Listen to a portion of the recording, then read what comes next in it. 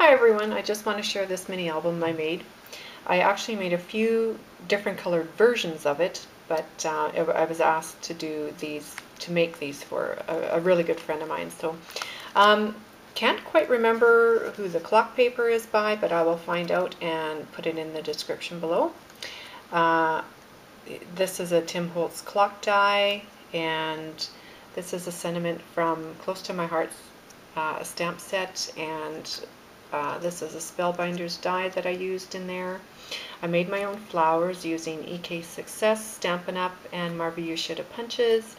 These leaves are from the foliage uh, dies from uh, Spellbinders. On the binder rings, I just added ribbon and some and some sheer ribbon there too. And behind there, I made a, a little charm to hang off of there. Okay, on the first page, just a little corner pocket, just a couple of tags for pictures and photos. And I just added some gold stickles along the edges here.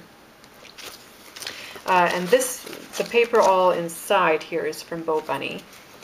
Um, here is a Tim Holtz uh, dress form die, and I just added some pearls and a rhinestone for a necklace, and some tooling for the skirt. The uh, stamped image is from Stampin' Up. On this page, it's just a place for a photo they can tuck in behind. Uh, I made these flowers and this uh, swirly image is from Spellbinders also. And just a poem uh, these are for teachers' albums, so it's just a, a nice little poem to um, for them to read. And on the other side, a place for a photo and some journaling. And this page just mimics the other one before that, so just place for a photo. Okay, on this page, it's just a photo mat. This die is from uh, Stampin' Up. It's a new die that they have. And these swirly lines are from Spellbinders and also the leaves and then I just made the flowers. Okay, on this page, uh, it's an embossing folder. I believe it's the Rebecca one from Cuttlebug.